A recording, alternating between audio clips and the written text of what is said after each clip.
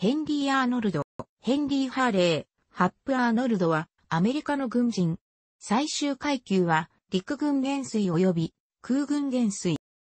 1886年6月25日、アメリカ合衆国ペンシルベニア州グラッドワインノに生まれる。1903年、陸軍士官学校入学。在学中の1907年にウェストポイントにいた時からハップの愛称で呼ばれた。ハッピーに由来する。騎兵科を志したが成績が足りず、1907年に同校を卒業した際には、不評少尉に任官。その後2年間はフィリピンで第29不評部隊に配属する。1909年に帰国、信号兵部隊に配属。1911年4月、ライト服用機の飛行訓練を受けるために、オハイオ州デートンに帰国する。アーノルドはライト兄弟から2ヶ月間の指導を受ける。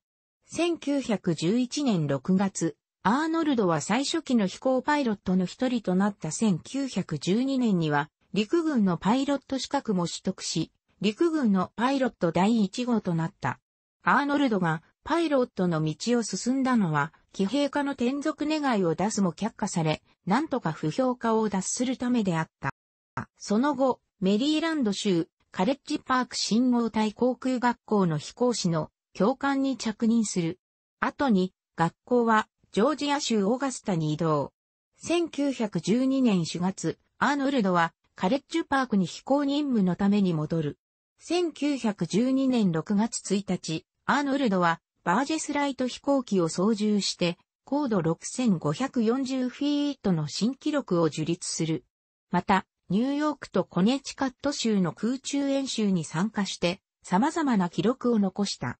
1912年10月9日、マッキートロフィーを受賞。1912年7月に飛行事故を経験している。11月、陸軍通信部長副官に着任。1913年にアーノルドは結婚し、当時独身者のみに許された資格であったパイロットの資格を失う。再びフィリピン勤務となり、ジョージ・シー・マーシャルと知り合った。二人はすぐに友人となり、アーノルドは、後々までマーシャルをサポートすることになる。1915年隊員任官。ロックウェル基地の操縦術教練部に配属される。再びパイロット資格取得のための訓練を受けた。1917年2月、パナマに着任。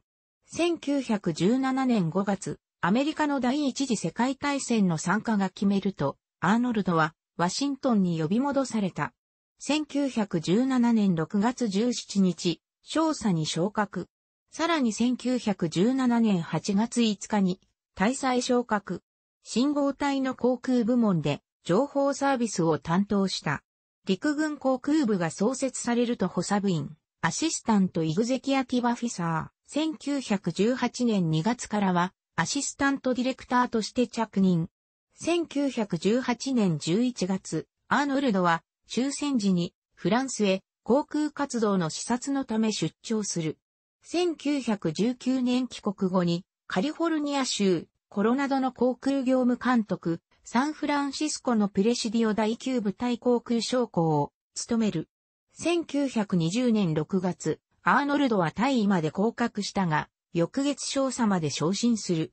1922年10月、カリフォルニア州、ロックウェルフィールドの指令に着任。1925年秋、ウィリアム・ミッチェルが犯行罪で裁かれた際に、軍法会議でミッチェル側で証言した。アーノルドは、ミッチェルの航空戦略、空軍独立論の信念に共感していた。その後は、カンザス州フォートライリーのマーシャルフィールド航空部隊の指揮へ回された。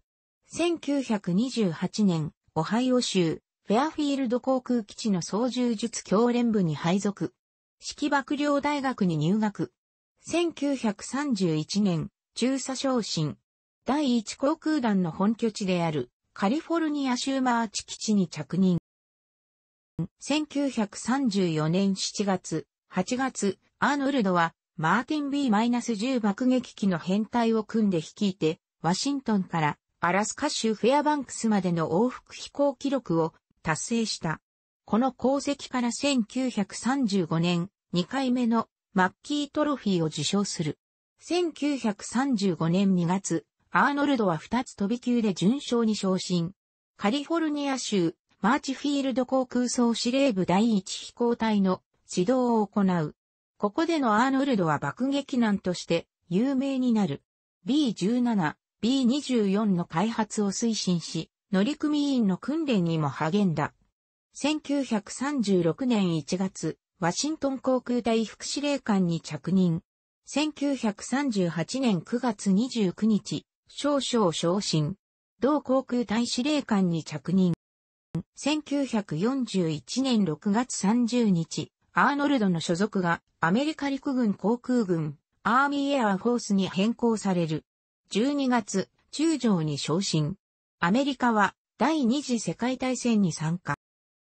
1942年3月、アメリカ合衆国陸軍省、 The War Department General Staff が組織され、アーノルドはアメリカ陸軍航空軍司令官に任命された。大将に昇進。1944年12月21日、陸軍元帥に一時昇進。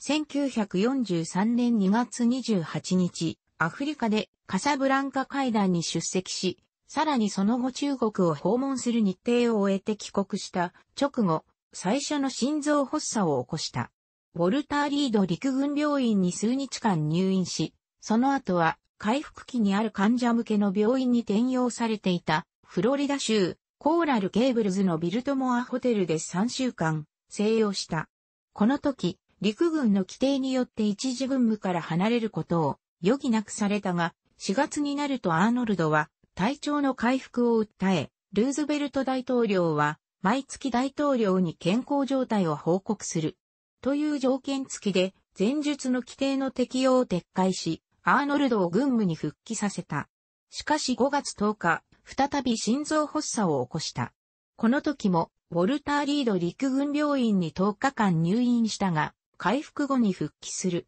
1944年5月10日、B-29 爆撃機に関する問題の対応に当たっていた時期に3度目の心臓発作が起こった。この時の症状は軽かったものの、同年6月7日にロンドンで開かれる会合に出席するまでのおよそ1ヶ月間、軍務離脱、静養を余儀なくされた。1943年8月27日、アーノルドは日本敗北のための空戦計画を提出する。日本都市産業地域への大規模で継続的な爆撃を主張し、焼夷弾の使用に関しても言及していた。アーノルドは科学研究開発局長官バネバー、ブッシュから焼夷攻撃の決定の人道的側面については高レベルで行われなければならないと注意されていたが、アーノルドが上層部へ計画決定要請を行った記録はない。1943年10月13日、アーノルドは、ジョセフ・スティルウェルから提出されたツワイライト計画の改定案をルーズベルト米大統領に提出。前進基地を四川省の生徒とし、日本本土攻撃の開始を1944年4月1日と予定していた。大統領はこれを承認し、11月10日に英国と中国から飛行場の確保を取り付け、この計画は日本の早期持続爆撃を目的としたマッターホルン作戦として発足した。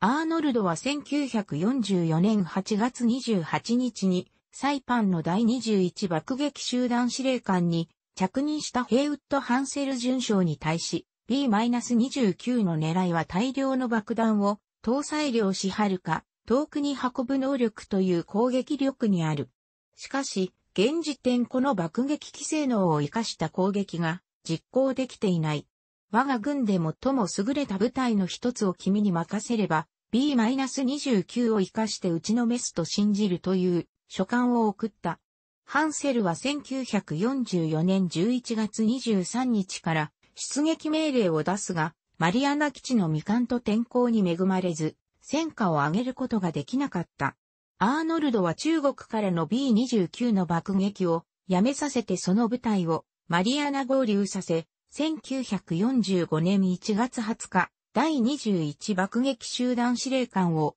カーチス・ルメイに交代させた。ルメイが中国で行った高い精度の精密爆撃の腕を買ったためであった。アーノルドは1944年11月13日の時点でルメイの移動は検討していた。1944年12月9日ルメイに対して B29 ならどんな飛行機も成し遂げられなかった素晴らしい爆撃を遂行できると思っていた。あなたこそそれを実証できる人間だと手紙を送っている。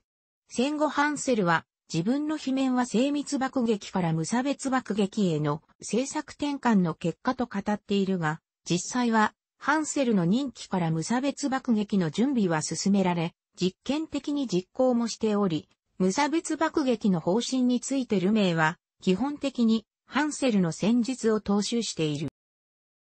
1945年1月17日、アーノルドが3日間オフィスに出勤していなかったため、主席航空医官が艦車内のアーノルドの部屋に彼の健康状態を確認すべく赴いた。その際、アーノルドはその医官の入室を堅くなに拒んだ。その後アーノルドは再びフロリダへ向かい、コーラルゲイブルズで24時間体制の治療、看護を受けられる環境の下で9日間静養した、後服することになるのだが、この入室を拒まれた医官はアーノルドがフロリダへと立った後、アーノルドの個人的な友人である陸軍将官の一人に協力を求め、その陸軍将官に質問することでようやくアーノルドの健康状態を確認することができた。フロリダでの静養の後、アーノルドは再び軍務に復帰することを許されたが、健康状態は芳しくなく、以前のような激務に耐えられるような状態ではなかった。しかし、その後もアーノルドは、ヨーロッパ各地の航空基地を視察して回るなど、可能な範囲で精力的に任務に当たった。